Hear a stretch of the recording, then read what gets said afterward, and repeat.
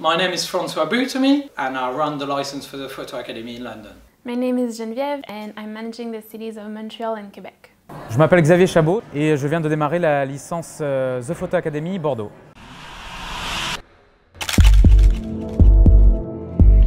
Joining the Photo Academy license was also a great opportunity to get a um, great amount of support from their base in Paris.